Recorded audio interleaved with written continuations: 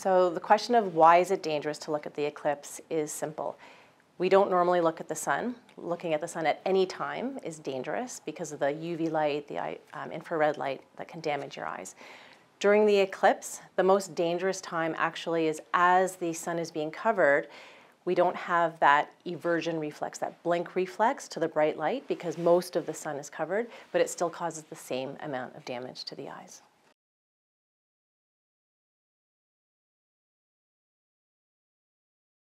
So the, the UV light, the ultraviolet light, and the infrared light damages the parts of the eye, the back of the eye, called the retina, right at the part of your central vision.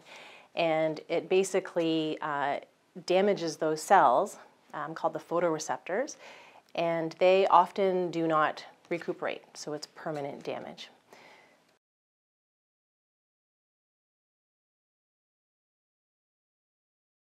So importantly, there's no treatment. Prevention is key, and oftentimes the symptoms will be blurriness, um, sometimes some sensitivity to light, and missing parts of your vision. Those are called scotomas, or waviness to your vision. And the vision may return, but those missing spots most of the time do not. So there's no special treatment, and uh, that's why we're sending the message of preventing it.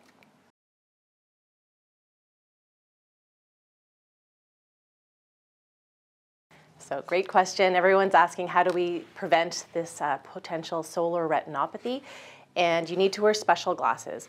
Sunglasses, your regular eyeglasses, um, any kind of polarized glasses, none of those will protect your eyes from the UV light. These are solar eclipse glasses. They block out 99% of all the damaging rays. And when you look through them, it's pitch dark. So you can't move with the glasses on.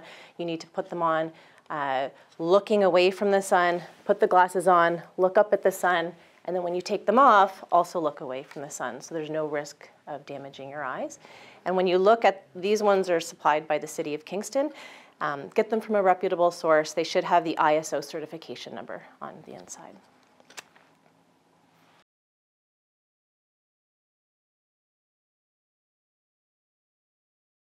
So parents at home with their kids on the day of the solar eclipse should keep in mind a few things. And these are the same things I'm telling my patients. I'm a pediatric ophthalmologist, what I'm telling my own family. I have three young kids.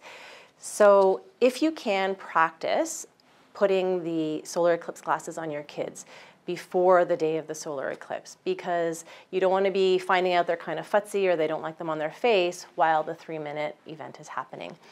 It's very important that the glasses aren't treated as a toy. So you don't want kids running around playing with them, scratching them. The lens need to be perfectly um, non-scratched and not bent for them to be protective. And they're completely blackout glasses, so a child should never be moving or an adult shouldn't be moving with them on.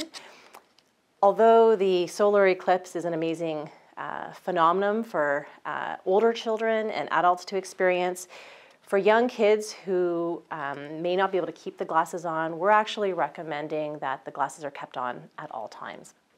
And to also keep in mind there's other ways to experience the solar eclipse.